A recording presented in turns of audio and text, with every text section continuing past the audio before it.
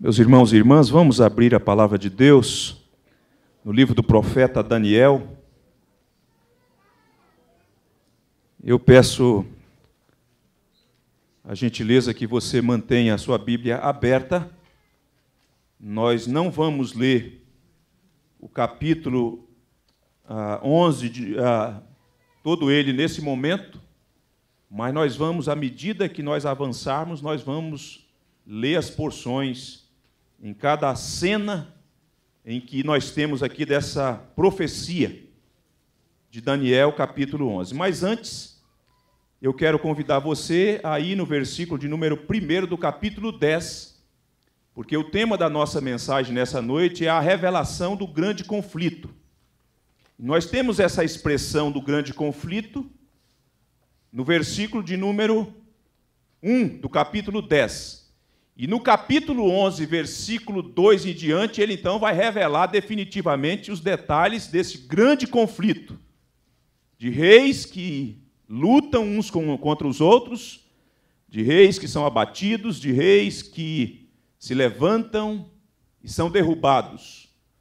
E no meio dessa, desse corredor da história está o povo de Deus, que enfrenta as suas lutas, que é perseguido, que chora, que se entristece, que fica angustiado e que morre também. E que morre também. Então eu quero que você atente para essa verdade. A revelação do grande conflito. No terceiro ano de Ciro, rei da Pérsia, foi revelada uma palavra a Daniel, cujo nome era Beltesazar, Zazá, Sazá. A palavra era verdadeira e envolvia grande conflito. Ele entendeu a palavra e teve a inteligência da visão.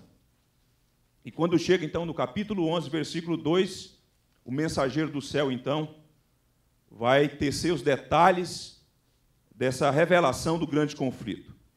Diz assim: Agora eu te declararei a verdade. Eis que ainda três reis se levantarão da Pérsia, e o quarto será acumulado de grandes riquezas, mais do que todos, e tornado forte por suas riquezas, empregará tudo contra o reino da Grécia. Até aqui.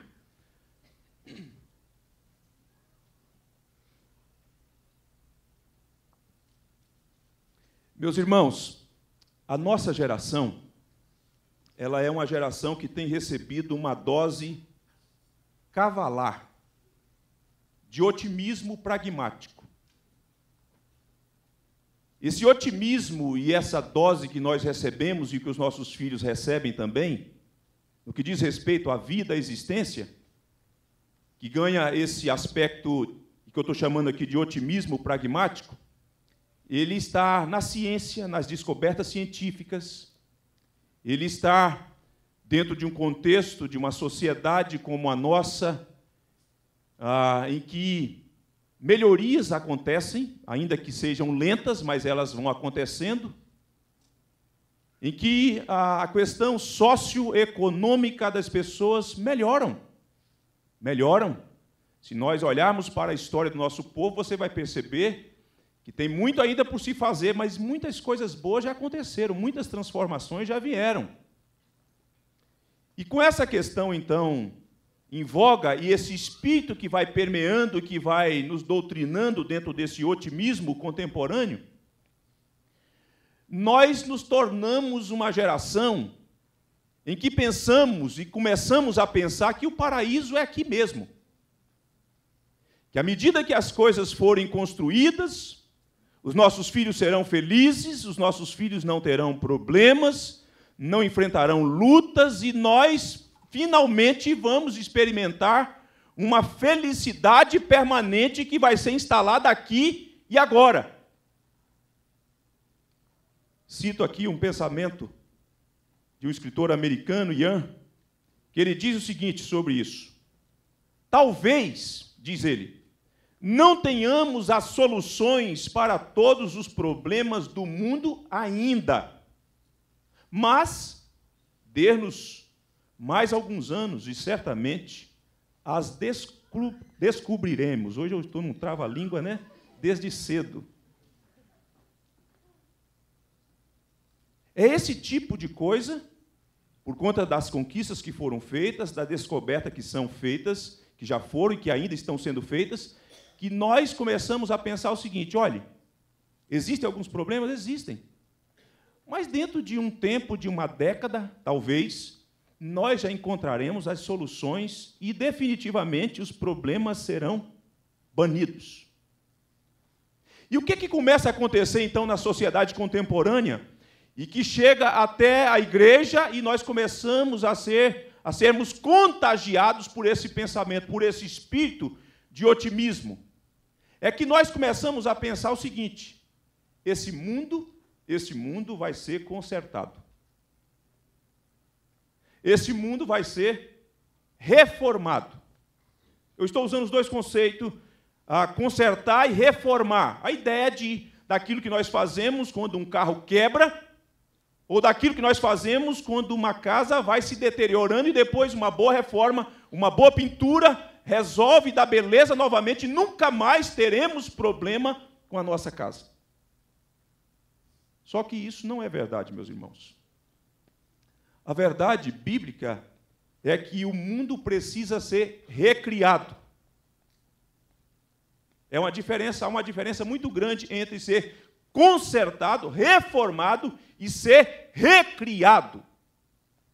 Na verdade, a linguagem bíblica diz que ah, na volta do Senhor Jesus Cristo, essa terra será transformada numa nova terra o céu será transformado num novo céu. A partir do que já existe, mas isso vai ser recriado. E por que que isso é importante, irmãos, entender isso dentro da profecia de Daniel? Porque o mal ele não será eliminado do nosso jeito e nem com o nosso programa. Eu não quero que você pense e fale assim, o pastor Fábio ele está bastante é, pessimista. Não, não é isso. Existe um otimista, um otimismo, na minha opinião, que ele é realista, em que você não cruza os braços, em que você ah, realiza a sua vocação na perspectiva de que coisas precisam ser feitas e que isso é vontade de Deus e que isso faz parte dos mandatos de Deus, especialmente o mandato cultural. Mas isso não quer dizer que o nosso método, que o nosso programa bem arrojado, bem planejado, vai eliminar o mal deste mundo caído e quebrado. E o que é preciso entender então? É que Deus vai extinguir o mal. Não sou eu nem você. Deus vai extinguir, vai eliminar o mal. Mas isso acontecerá ainda numa era mais adiante. Enquanto isso não acontecer, preste atenção nisso. Enquanto isso não acontecer, coisas horrendas acontecerão. Coisas difíceis nós experimentaremos. É verdade, essa é a verdade de cada um de nós. É a verdade da nossa família, é a verdade que está presente na igreja de Deus, é a verdade que está no meio da sociedade contemporânea. Sempre esteve. E com a nossa geração e com a geração dos nossos filhos, não será diferente. Agora, qual a importância então de entender esse espírito otimista da geração contemporânea e a profecia de Daniel? é que a profecia de Daniel, ela vai mostrar o seguinte: existe um procedimento, vou usar aqui o conceito de procedimento, né, cirúrgico, que vai ser realizado e, em alguma medida, não será aplicada uma anestesia. Então o povo vai sentir dor. A dor sempre fez parte da história da humanidade do ponto de vista da queda. Então, quando você olha para essa profecia, para esse Deus que escreve a história antecipadamente, diz o que vai acontecer e fala dos detalhes dessa, dessa história que está em curso. A dor é contemplada, o sofrimento está em todo o pacote daquilo que está para acontecer. E Daniel, esse mensageiro que vem, Daniel, ele não faz rodeios, ele vai direto ao ponto. Ele fala: Estou trazendo uma mensagem para você, a mensagem envolve um grande conflito, a mensagem é verdadeira, a mensagem tem origem no céu e ela está sendo comunicada aqui na terra para que você saiba, para que o povo de Deus saiba, para que o povo de Deus tenha conhecimento, para que o povo de Deus aprenda a viver durante esse tempo turbulento. Mas a pergunta que precisamos fazer já que a dor que faz parte da nossa existência do ponto de vista da queda, e Deus escreve a história e contempla as nossas dores, a pergunta é: a nossa dor vai passar um dia? Será que um dia isso vai acabar? Será que um dia as lágrimas que rolam serão enxugadas? Será que dia haverá um consolo indizível para a nossa alma aflita? E que é assaltada tantas vezes pela tristeza e pelas lutas que vêm. Ao mesmo tempo que o mensageiro traz essa revelação do grande conflito para Daniel, falando e contemplando todo este enredo nesse corredor da história, há também consolo, louvado seja Deus. Há também o afago de Deus para o seu povo. Deus nunca, jamais escondeu do seu povo sobre as lutas que se travam, das batalhas que vêm. Mas Deus sempre veio ao seu povo também falando: olhe, há consolo. Não botem os olhos de vocês nas circunstâncias que amedrontam, mas também não ignorem as circunstâncias, elas existem, elas estão ali diante de nós mas coloque os olhos de vocês numa realidade daquilo que eu estou para fazer. De algo maravilhoso. O mal não vai triunfar sobre o bem. Ele existe e ele tem uma agenda no cronograma de Deus, mas ele não prevalecerá. Aqui então, em primeiro lugar, nós vamos ver aqui nesse texto que o grande conflito ele acontece entre reinos, entre reinos já mencionados. Lá no capítulo de número 8, Daniel já tinha tido uma visão sobre esses conflitos, ou sobre este conflito, ou parte deste conflito, que iria se travar entre um carneiro e um bode, fazendo alusão a esses dois primeiros reinos, que nós já lemos aqui no capítulo 11, versículo 2, a Pérsia e a Grécia. Eu não vou voltar lá, porque nós já, já falamos sobre isso aqui. Com isso, o povo de Deus, ele sofre por conta desses, desses conflitos, por conta dessas guerras que se travam, porque o povo de Deus está nesse enredo. O povo de Deus não é retirado dessa, dessa situação conflituosa. Em segundo lugar, o grande conflito era de cunho escatológico para o profeta. O que eu quero dizer para isso? Com a mensagem que ele está recebendo, a mensagem que ele está recebendo, ela é ainda futurista, de coisas que ainda iriam acontecer. Ela é escatológica, portanto, de coisas que Deus já está falando previamente, mas que ainda iriam suceder na história do seu povo, revelando, portanto, e trazendo aflições e sofrimento para o povo de Deus. Mas e para a igreja? E para mim para você? Para mim e para você, olhar para essa profecia, ela tem caráter é, histórico e caráter escatológico. O que eu quero dizer com isso? Que parte do que aqui temos no capítulo 11 já aconteceu, e uma parte ainda não aconteceu. Há coisas que já se concretizaram, que os nossos irmãos da antiga dispensação já experimentaram, já sofreram por conta delas. Mas há uma parte ainda, talvez a pior, que está para se desencadear, e que nós já somos informados sobre ela, que talvez ela seja experimentada por nossa geração. Talvez ela seja experimentada pela geração dos nossos filhos ou dos nossos netos. Não temos a precisão de quando elas, essas coisas acontecerão. Parte delas já aconteceram e parte delas ainda hão de acontecer. E esse grande conflito, irmãos, com a sua Bíblia aberta, ele apresenta cinco cenas, que nós vamos do versículo de número 2 do capítulo 11 até o versículo de número 4 do capítulo 12. São cinco cenas. E nessa primeira cena, a primeira cena que vai do versículo 2 ao versículo de número 4 do capítulo 11, aqui o mensageiro traz outros detalhes da batalha que eu já falei com vocês lá do capítulo 8, da batalha do bode com o carneiro, do carneiro com o bode. O carneiro representando ao reino medo-persa e o cordeiro ou o bode representando a Grécia. E isso aqui está claro.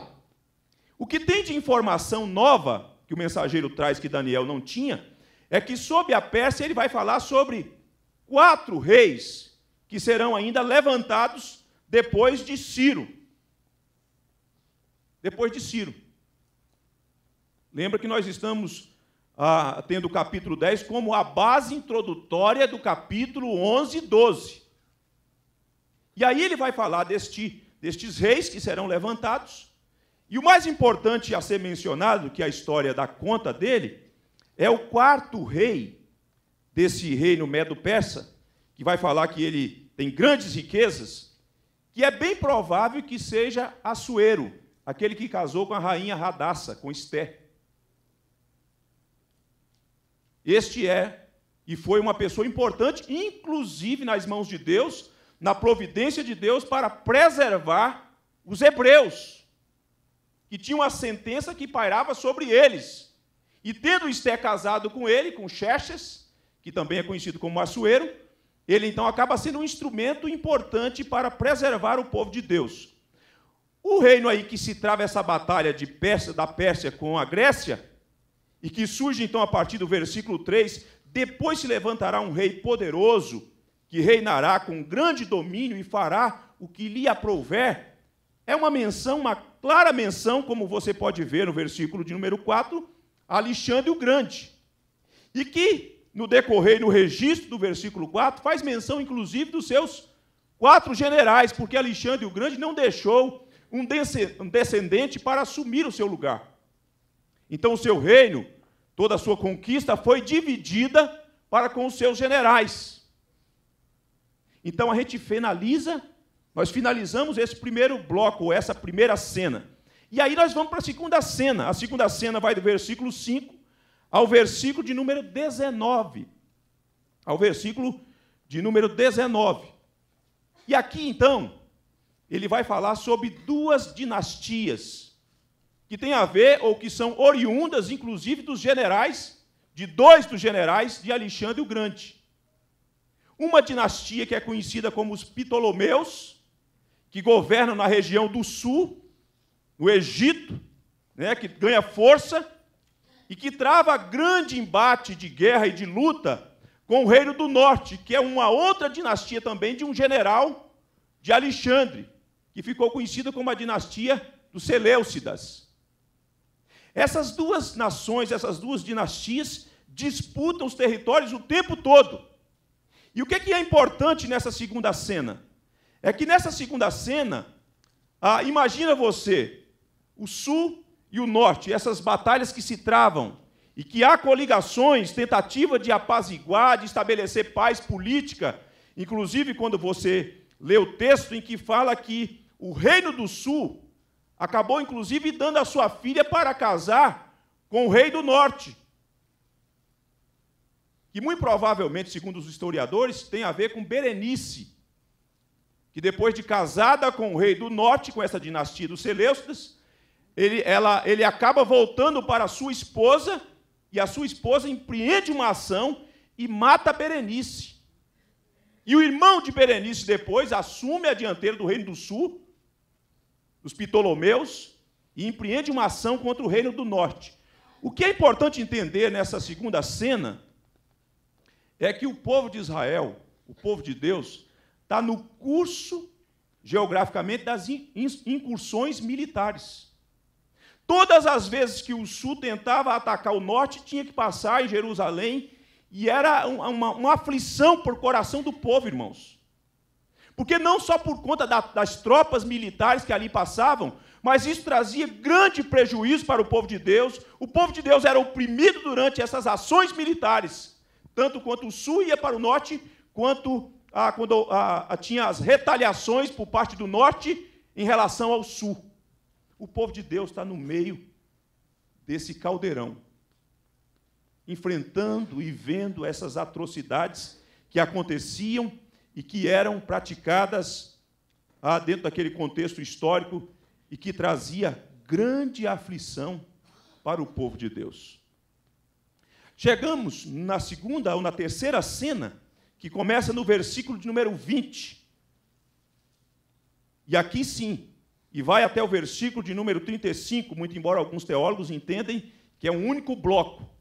Mas estou seguindo a interpretação mais tradicional do meio ortodoxo, especialmente os reformados, que trabalham esta visão, essa segunda cena, ou essa terceira cena, melhor dizendo, que vai do versículo 20 ao versículo 35. E aqui sim, eu quero ler com vocês o versículo 20, porque ela faz menção, dentro de um contexto, em que parece que há uma interrupção, porque os reis do sul, ou o rei do sul e do norte, eles acabam dentro desse programa que eles estão agindo, que eles estão se degladiando, é Deus quem permite com que eles sejam levantados e é Deus também que abate a eles. Porque a profecia, embora ela contemple esse momento de sofrimento, ela vem com o aspecto também de mostrar que quem está no controle da história é o Senhor. Lembram-se que eu já falei aqui algumas vezes quais as três palavras, os três verbos que podem sintetizar a mensagem de Daniel? Né? Deus governa, Deus revela e Deus protege. Lembram-se disso? E nesse contexto, portanto, Deus é quem tem o controle. Mas nessa história em que é registrada e que é escrita por Deus, tem essas situações difíceis e que o povo de Deus enfrenta. Veja aí no versículo 20, diz assim: Levantar-se-á depois, em lugar dele, um que fará do rei do norte, né? Lugar dele é fazendo a menção rei do norte, porque a terceira cena termina mostrando e falando da vitória do reino do norte. Levantar-se-á depois, em lugar dele, um que fará passar um exastor pela terra mais gloriosa do seu reino, mas em poucos dias será destruído, e isso sem ira, ah, sem ira e nem batalha. Então, aqui os teólogos não conseguem, os historiadores também, alguns aventuram, mas eles não têm precisão de quem possa ter sido esta pessoa, esse personagem, nesse curto período de tempo. Mas é um curto período de tempo que causa bastante aflição no povo de Deus, mas que, ao mesmo tempo, ele é abatido também, ele não subsiste. E aí, irmãos, é que nós chegamos nessa terceira cena, que aí vai fazer a menção de um homem, em que vai fazer alusão ao seu caráter e às suas obras, às suas ações que nos parece, de acordo com o capítulo 8, porque o capítulo 8 já falou de dois reinos, da Pérsia e da Grécia, e ele fala lá de um pequeno chifre. É bem provável que este personagem aqui, deste homem vil, que o texto faz menção, depois se levantará em seu lugar um homem vil, ao qual não tinha dado a dignidade real, ele, ele não é de linhagem real, mas ele virá caladamente e tornará ou tomará o reino com intrigas. E aí ele passa a fazer uma descrição deste personagem, deste homem vil. Se você for para o versículo de número 28, ah, volta a falar dele. Ah, então o homem vil tornará para a sua terra com grande riqueza, e o seu coração será contra a santa aliança. É muito importante esse conceito de santa aliança neste capítulo, e ele fará o que lhe aprouver e tornará para a sua terra. O conceito de santa aliança e o conceito de terra gloriosa é muito importante aqui para mostrar essas ações daqui para lá, de lá para cá, e o povo no meio, o povo de Deus no meio, enfrentando essas coisas, contemplando essas cenas e o tempo todo sendo atormentado e morrendo, inclusive, por conta dessas ações militares de homens maus que odeiam, que odiavam o povo de Deus. E aqui então, quem seria este homem vil, em que a Bíblia vai fazer a descrição dele do versículo 21 e vai mostrar suas ações e o seu caráter, até o versículo de número 35. E aqui é bem provável que a alusão aqui é de um sujeito que fazia parte da dinastia, muito embora ele não fosse da linhagem real, mas dos Seleucidas. A dinastia dos Seleucidas, que é Antíoco Epifânio, que teve um período de governo de 175 a 164 a.C. E esse foi um período, então, que ele efetuou várias conquistas usando a força, a violência, um homem truculento, mau, a ponto de no final, ao final, ah, você deve ter, ah, me acompanhou na descrição, na leitura do capítulo 8, em que ele profana o templo, né? acredita-se que ele chegou a matar ou a sacrificar um porco no altar do templo, em que ele impediu o povo de Deus de realizar as suas cerimônias, e que nesse contexto, portanto, das suas ações, ele acaba encontrando favor ou fazendo coligações com pessoas que faziam parte dos judeus ou dos hebreus, que se apostataram da fé, que não aguentaram a batalha, a luta, o sofrimento. Nós podemos ver isso, por exemplo, deixa eu me notar aqui.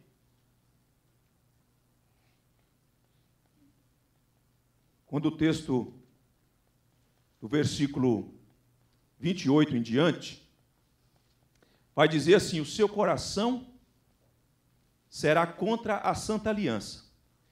E nessa linguagem que vai sendo utilizada, quando você chega no versículo 30, diz assim: Porque virão contra ele navios de Quitim. Acredita-se que aqui já é uma primeira menção do Império Romano, que acaba refreando a Epifânio que tinha empreendido uma ação contra os Ptolomeus no Egito.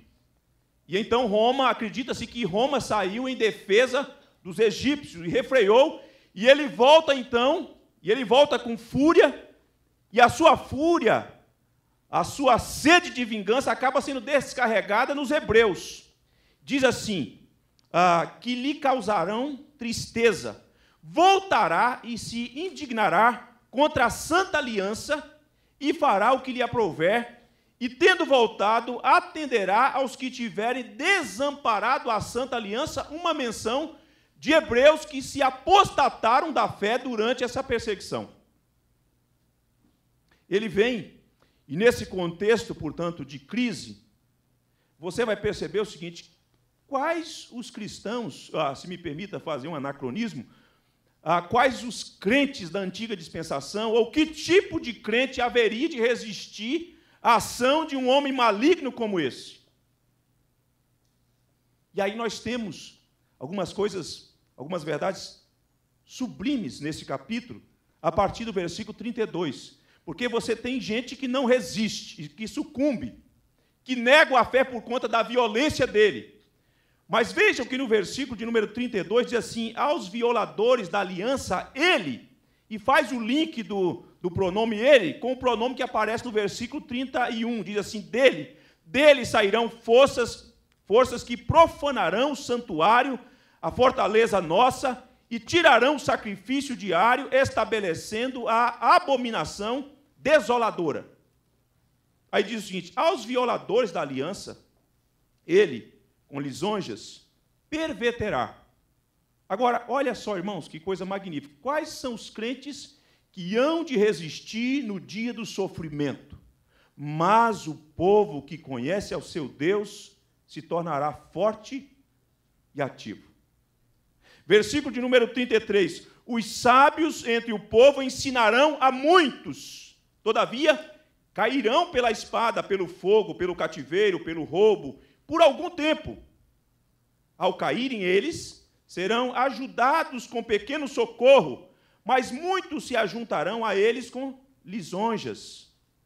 Alguns dos sábios cairão para serem provados, purificados e embranquecidos até ao tempo do fim, porque se dará ainda no tempo determinado. É muito interessante aqui também esse conceito de tempo e o conceito de tempo determinado, para mostrar o seguinte: que a agenda da história está na mão de uma outra pessoa. Os reis estão realizando atrocidades, fazendo coisas terríveis. Mas dentro desse contexto, desse ah, cronograma, Deus é quem está regendo. Deus da aliança. Que tipo de gente haveria de resistir o sofrimento? E que tipo de gente hoje seria capaz ou será capaz de resistir o sofrimento num contexto de crise? Esses versículos nos ajudam. Esses versículos nos mostram como que um crente, como que alguém que é alcançado pela verdade de Deus, pelo evangelho de Deus, pode resistir e como que tem que viver diante de uma situação como essa. A primeira coisa que nós precisamos aprender que as pessoas que hão de resistir, que resistiram e que hão de resistir ainda hoje e em qualquer tempo, são aquelas que conhecem ao seu Deus. As pessoas que aguentam esse fogo da fornalha, essa batalha que envolve o sofrimento, em que há conspirações, são pessoas que conhecem ao Senhor Deus, mas o povo que conhece ao seu Deus se tornará forte. Esse povo não é enfraquecido, irmãos.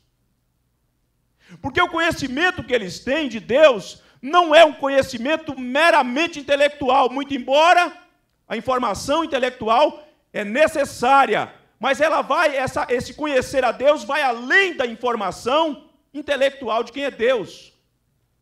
É de saber quem é Deus numa relação estreita com Ele, de saber que esse Deus está no controle da história, conhecendo a Deus e sabendo que as coisas que estão acontecendo estão debaixo do governo de Deus, esse povo não se enfraquece, esse povo é fortalecido para viver a vida que Deus deu a ele.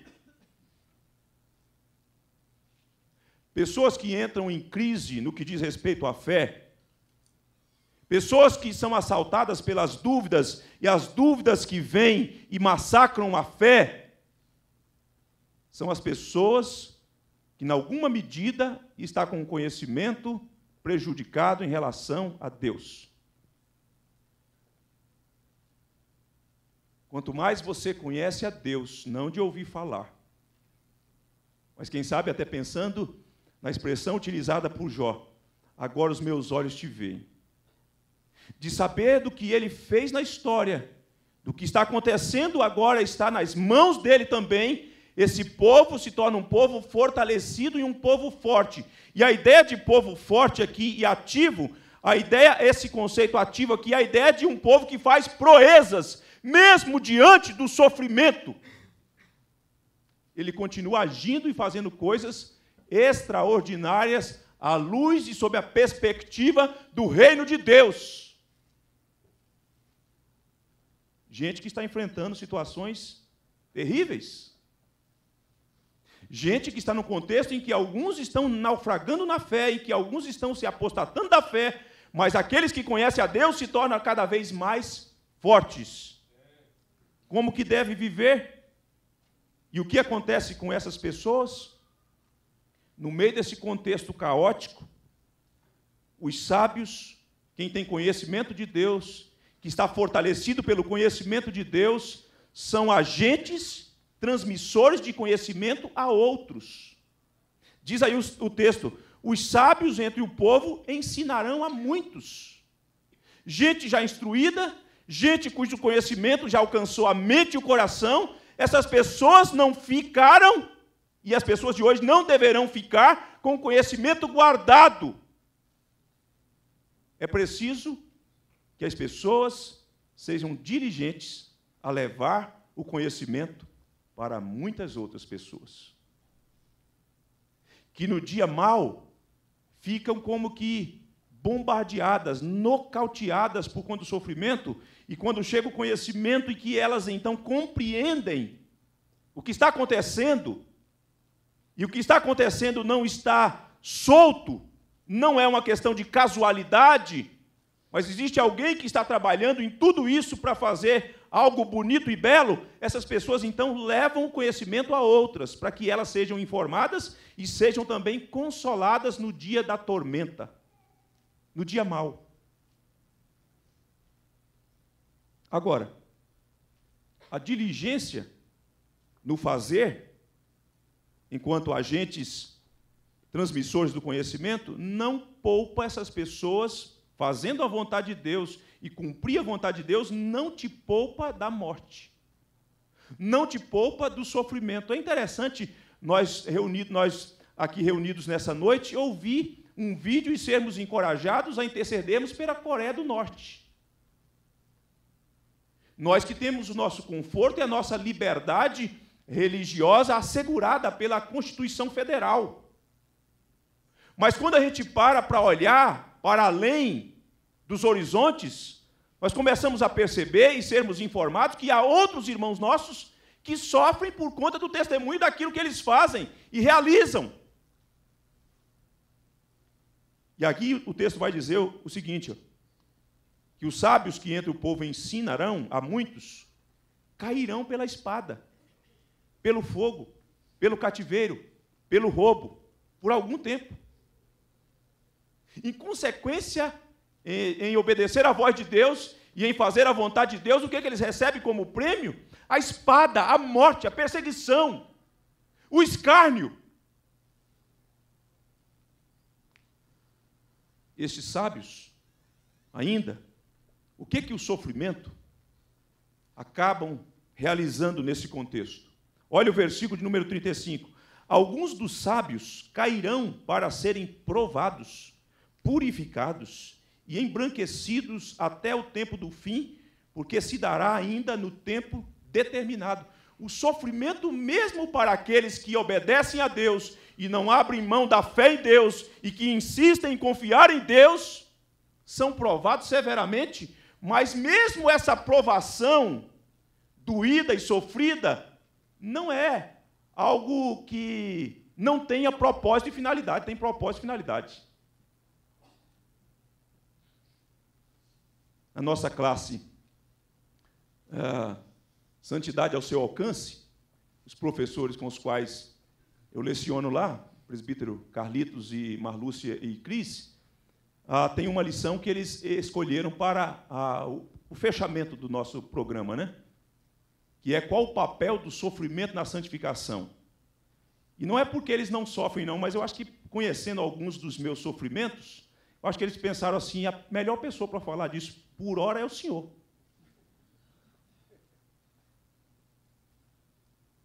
Porque o sofrimento, irmãos, embora a gente pense que o sofrimento ele é só para nos, ele, ele vem num caráter para nos atrofiar, no plano de Deus o sofrimento vai, vem para nos depurar. Gente de Deus tantas vezes aprende mais no sofrimento do que no dia do, do banquete, dia, do, do, que no dia da celebração. Há um livro escrito pelo Dr. Paul Brandt e Philip Yancey chamado A Dádiva da Dor, em que a, o Dr. Paul Brandt, depois de formar-se em medicina, vai para a Índia para trabalhar com pessoas que, tinha, que têm a doença do Hanseníase, a conhecida lepra. E ele vai para lá e ele dedica a sua vida e o seu ministério e no relato no seu livro, ele, ele diz o seguinte: Eu faria de tudo para com que os meus pacientes voltassem a ter dor. Porque os membros do corpo que eles perdem, eles perdem porque não sentem mais dor. Então a dor, às vezes, para a nossa mentalidade ocidental, é uma coisa ruim, péssima. Já diz a propaganda do analgésico, né? Tomou Doril, a dor sumiu. Nós queremos fazer com que a dor seja removida definitivamente, porque nós não gostamos de sentir dor.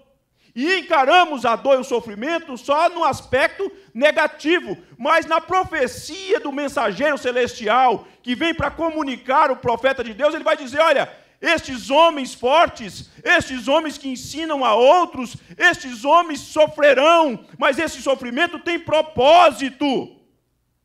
Esse sofrimento vem para purificá-los, vem para torná-los embranquecidos. às vezes você e eu não entendemos a razão da dor que sentimos. Eu não estou dizendo que todo sofrimento precisa ser encarado nesse prisma do propósito santificador e depurador de Deus. Há alguns sofrimentos nossos que são, que acabam se desencadeando por conta da nossa irresponsabilidade de coisas que nós escolhemos, de decisões que tomamos, e aí não vem falar que Deus está usando isso para depurar você, não. São fruto ou frutos da sua escolha, das suas decisões. Mas dentro do fluxo do reino de Deus que está sendo expandido, o sofrimento tem caráter positivo. Deus, em momento algum, sai perdendo. Chegamos então à quarta cena. E a quarta cena, então, vai do versículo 36 ao versículo 45. Essa porção, essa parte do capítulo, irmãos, ela me colocou debruçado literalmente diante de Deus, humilhado de joelhos, com a cabeça entre os pés e pedindo misericórdia ao Senhor nosso Deus. Porque se você olha do versículo 21, do homem vil, da repetição, das ações, dos pronomes que são elencados sobre ele, a tendência nossa é de chegar no versículo 36 e pensar e chegarmos à conclusão de que este rei continua sendo o que já foi mencionado do versículo 21 a 35. Mas nos parece, porque essa cena, essa quarta cena, ela ganha um outro caráter que estará atrelado ao conceito que aparece no versículo de número 1 do capítulo 12, em que vai desencadear ou que eventos acontecerão dentro desse outro tempo. Então não dá para dissociar este personagem dessa esfera escatológica daquilo que ainda acontecerá. Se até o versículo 35 nós estamos olhando, a igreja olhando para trás, tá olhando para o aspecto histórico daquilo que já aconteceu, do versículo 36 a igreja precisa, como Daniel, olhar para diante de coisas que ainda acontecerão. E aqui, irmãos, a cena que é colocada diante de nós, se a coisa do versículo 21 ao versículo 35 estava ruim, a coisa tende a piorar. Por isso que eu comecei com aquele conceito do otimismo pragmático da nossa geração. Porque se as coisas estavam ruins dentro do, da história que Deus está escrevendo, o que o mensageiro está dizendo para Daniel é o seguinte: Daniel, as coisas vão piorar. Reinos se levantarão e serão abatidos, surgirão outros e serão abatidos. As coisas acontecerão dentro do contexto em que o povo de Deus vai chorar, em que o povo de Deus vai sofrer, em que gente vai morrer, mas vai surgir um sujeito que é muito pior do que todos esses, e que esse último do versículo 30 a, a 21 a 35 é um protótipo. É como que um modelo oferecendo características para este outro rei que ainda surgirá em que nós chamamos na teologia de o anticristo. O anticristo. É o reverendo Hernandes que, falando sobre esse texto, e aqui eu cito, ele diz assim: esses versículos deixam de descrever, os versículos 21 a 35, deixam de descrever o protótipo para descrever o reinado assustador do anticristo vindouro. Fecha aspas. E como entender então essa linguagem?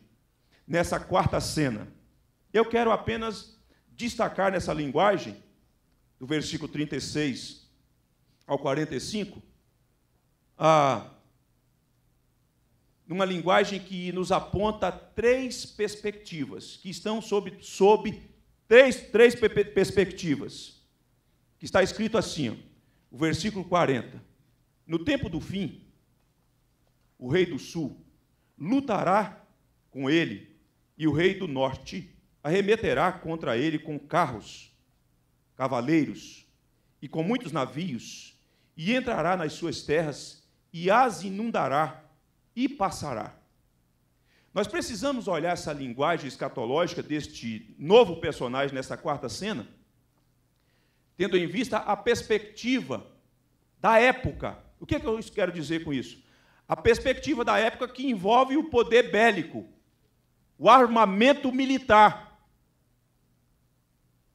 Então, dentro daquela esfera do conhecimento da, do, do momento presente, o que se tinha de instrumentos que se travavam batalhas para se ganhar, para se conquistar uma vitória, eram estes instrumentos. Mas no tempo do surgimento do anticristo, deste homem vil, ou homem da iniquidade, que o apóstolo Paulo fala na sua carta, na sua segunda carta aos Tessalonicenses, capítulo 2, ele vai utilizar o poder bélico que estiver à disposição dele no tempo vigente, da tecnologia, das coisas que estarão à disposição. Então nós precisamos olhar para esta mensagem sob a perspectiva da época. A segunda coisa que nós precisamos olhar é sob a perspectiva da aliança. Veja você no versículo de número 41 que diz assim: Entrará também na terra gloriosa, e muitos sucumbirão, mas do seu poder escaparão estes: Edom e Moabe e as primícias dos filhos de Amon. Por que, que alguns vão sucumbir nesse momento dessa ação, deste ser? E essas três nações que eram vizinhas de Israel e que tinham laços de parentesco com Israel, serão protegidas por conta da perspectiva da aliança. Preste atenção nisso. Porque esses três, essas três nações, declaradamente eram inimigas de Israel.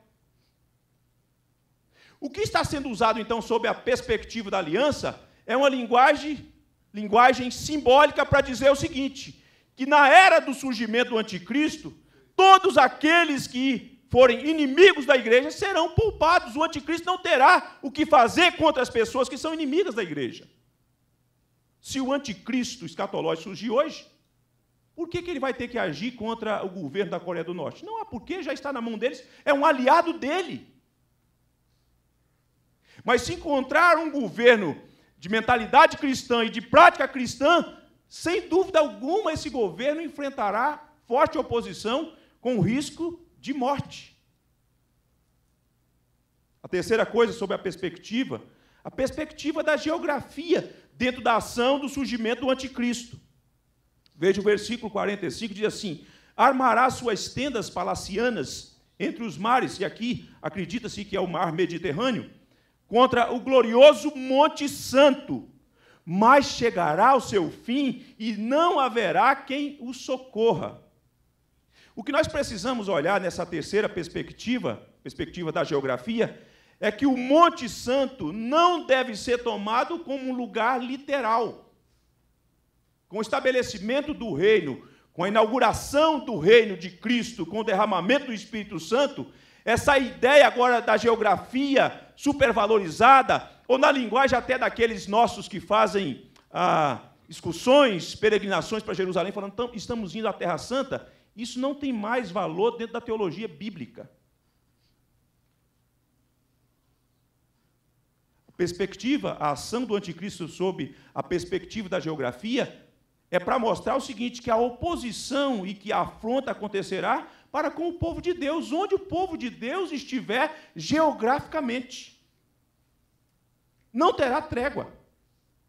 Não mais essa ideia do Monte Sião. Até porque quando Jesus inaugura, ou quando inaugurou a questão do seu reino, em que ele trava uma conversa com a mulher samaritana, e que ela pergunta qual é o monte certo para adorar. O Senhor Jesus, não, agora não é questão mais de, de monte, de lugar, de geografia. Deus procura adoradores que o adoram o Pai em espírito e em verdade. E essa hora já chegou. Não tem mais esse limitador geográfico. Da mesma forma, irmãos, essa linguagem escatológica, para o surgimento do anticristo, ela não vem para colocar uma geografia estrita. É uma linguagem simbólica, para falar como que o povo de Deus enfrentará oposição. Mas a questão é, a gente chega na quarta cena, que não é a cereja do bolo, é o bolo mesmo, porque a cereja do bolo, às vezes a gente fala assim, a cereja do bolo. Você fica interessado na cerejinha do bolo? Eu quero a fatia do bolo. Um pedaço bem substancioso, diet. Diet. Né? Então, a gente chega e o mensageiro está para finalizar esse bloco com Daniel.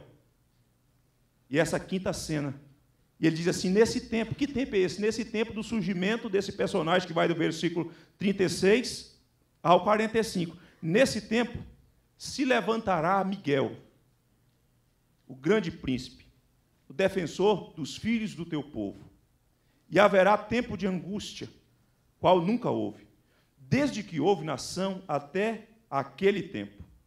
Mas naquele tempo será salvo o teu povo, e todo aquele que for achado inscrito no livro. Bendito seja Deus. Porque diante de tanto sofrimento, diante de tanta tragédia, e se a profecia continuasse assim, como receber alento? Se essa é a história, Deus, se essa é a história do Senhor com o seu povo, se o seu povo vai ser massacrado na história, o que vai restar? O que adianta? Aí vem essa mensagem de consolo. E mais, muitos, olha só, irmãos, muitos dos que dormem no pó da terra ressuscitarão, uns para a vida eterna, outros para a vergonha e horror eterno. Em que tempo? O tempo do surgimento do anticristo, da batalha que se trava. Nesse tempo, coisa extraordinária, esses eventos estão dentro desse tempo, dessas ações, em que revela esse caráter maligno do anticristo. Deus vai agir finalmente. Não que ele deixou de agir, mas agindo para trazer a vitória definitivamente para o seu povo. Qual será o fim do povo de Deus? Resta alguma esperança para o povo de Deus, para a igreja de Deus? E aqui o mensageiro vem e diz: sim, existe esperança.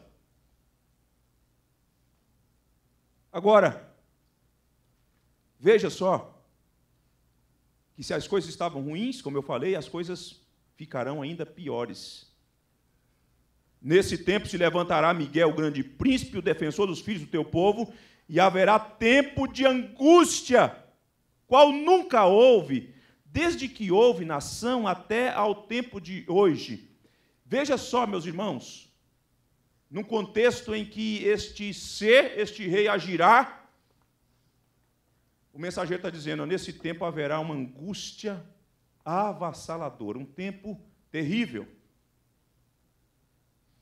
Deus não nos livra, não nos prometeu livrar-nos de situações difíceis. Se você está aqui nessa noite, se Deus está inclinando o seu coração para tomar uma decisão por Jesus Cristo, como Senhor e Salvador da sua vida, eu quero lhe dizer para que você não diga depois que não foi avisado. Deus não lhe promete que você estará isento de situações embaraçosas. Mas há uma coisa que Deus promete que na situação embaraçosa ele envia auxílio. Essa é a primeira coisa. No tempo de grande angústia, ele enviará Miguel, o príncipe dos príncipes. E como já dizia alguém, se não estou enganado, foi o reverendo Hernandes, Deus não nos livra da fornalha, mas nos livra na fornalha. Deus não nos livra da angústia, mas nos livra na angústia. Ele manda auxílio para nos tirar de lá. Ele não nos deixa sozinhos. Deus está falando com você nessa noite. Você que está enfrentando lutas que já há algum tempo ela perdura, já há algum tempo ela está alojada no seu coração. Deus não esqueceu de você. Segunda coisa, Diz aí no versículo de número 1: Mas naquele tempo será salvo o teu povo, todo aquele que for achado escrito no livro. Deus livrará o seu povo. Terceira coisa, Deus dará vida eterna ao seu povo, porque na trajetória do sofrimento e da crise, pessoas morreram. Lembra lá dos sábios?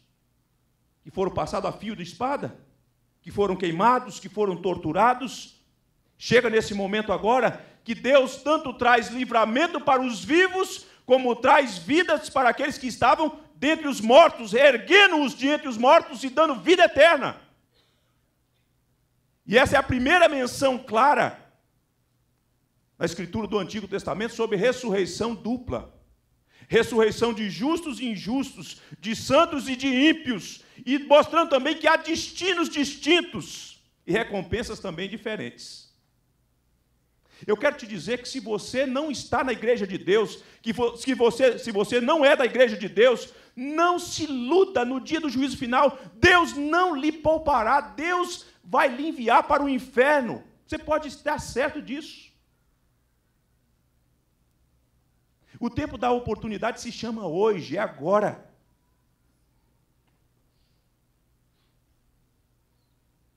E aqui, irmãos, eu termino então, preciso terminar.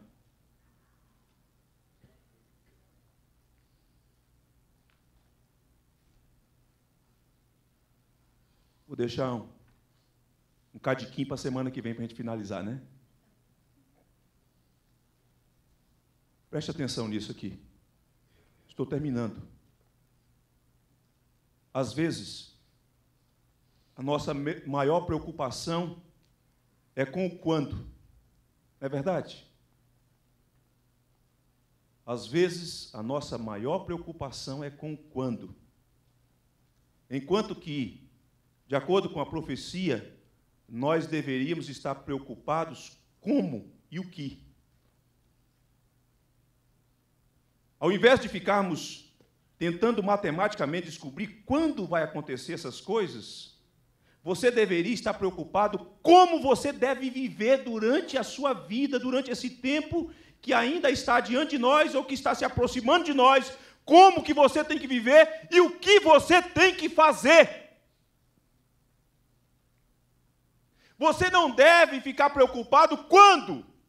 Se preocupe como você está vivendo. Avalie o que você está fazendo para você não ser apanhado de surpresa. É hora de você perguntar para si mesmo: o que, que eu estou fazendo da minha vida? Como que eu estou vivendo? Deus tem falado comigo?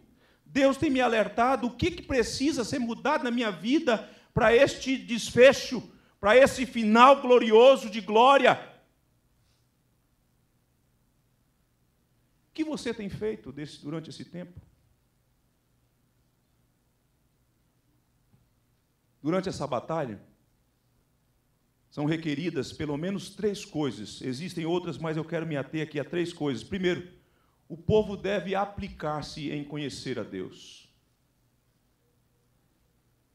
Eu temo que, às vezes, para nós, esse tempo que Deus nos reserva, em que nós deveríamos nos deleitar na palavra de Deus, para conhecer a verdade de Deus, para conhecer a vontade de Deus, para vivermos de acordo com a vontade de Deus, tantas vezes tem sido para nós um tempo enfadonho.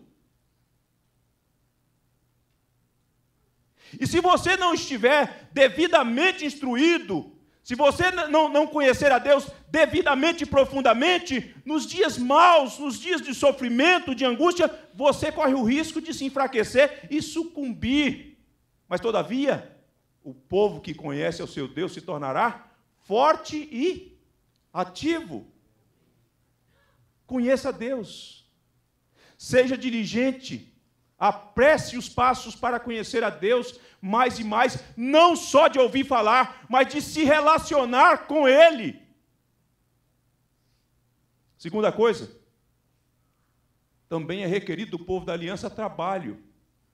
Meus irmãos, nós temos recebido tanto da parte de Deus, nós somos um povo ah, que, relativamente, dentro do contexto religioso brasileiro, de igreja protestante ou evangélica, seja lá como você queira chamar, nós talvez sejamos o povo mais ah, beneficiado e privilegiado com o conhecimento das Escrituras. Entretanto, isso não tem reverberado. Entretanto, isso não tem surtido efeitos nas nossas ações para que outros conheçam.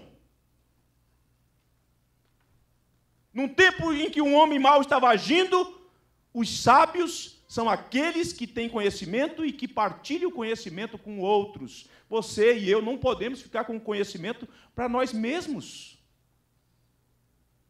Esse é um tesouro que tem que ser compartilhado. Terceiro lugar, durante o tempo de sofrimento, é requerido do povo de Deus, do povo da aliança, uma firme esperança. Deixa eu te dizer uma coisa, preste atenção nisso.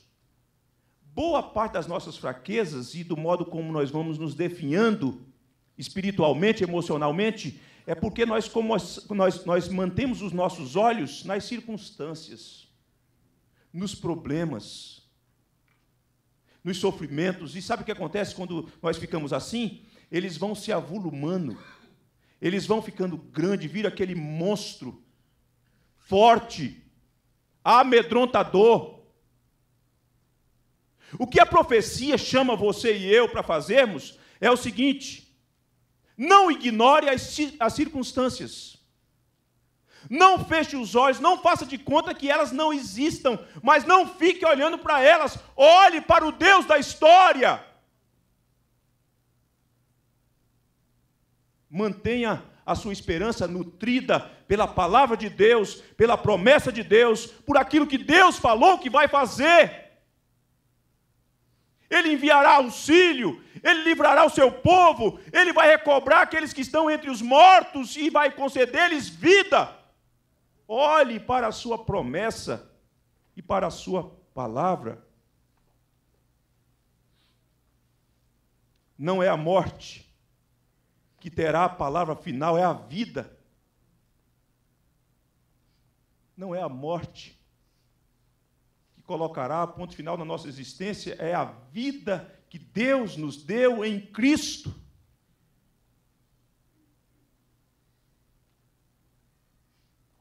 Eu acho, irmãos, eu acho, não tenho certeza, que eu estou morrendo dia a dia.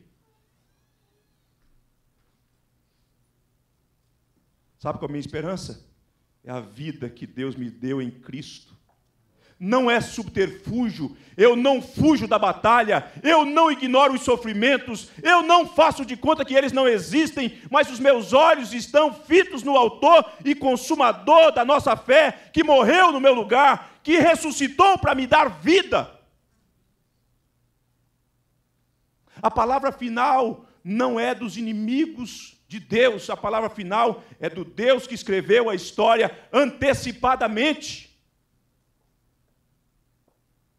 E eu termino, definitivamente termino. Esse texto termina falando de dupla ressurreição. Isso pressupõe que existe no mundo dois tipos de pessoas. Os que andam com Deus, que andaram com Deus, estão andando com Deus e que hão de andar com Deus, e daqueles que não andam com Deus. E a minha pergunta é: qual tipo de pessoa você é dentro dessa classificação no mundo? A qual tipo de pessoa você pertence? Você pertence àqueles que andam com Deus, que são fortalecidos pelo conhecimento de Deus? Ou você pertence àquele grupo que vai ressuscitar também, mas para ouvir do Senhor Jesus: Apartai-vos de mim, malditos, porque eu não vos conheço. Ou você estará naquele grupo em que o Senhor Jesus dirá: Vinde benditos de meu Pai, e entrai na posse do reino que vos está preparado desde a fundação do mundo. Se você está naquele grupo, nesse tempo ainda, que se chama hoje, que se fosse a chamada final, que se fosse o dia do acerto de contas definitivamente hoje, em que você ouviria o não ou a reprovação, hoje é a oportunidade para você passar para a igreja de Deus. O que você tem que fazer é aceitar Jesus, é receber Jesus como seu Salvador e tê-lo como seu redentor. E então você estará seguro e protegido e guardado para aquele grande e glorioso dia. A minha oração é que Deus lhe ajude, incline o seu coração para a escolha mais fabulosa da sua existência, que é receber Jesus Cristo como Senhor e Salvador da sua vida. Coloquemos-nos de pé e oremos ao Senhor nosso Deus.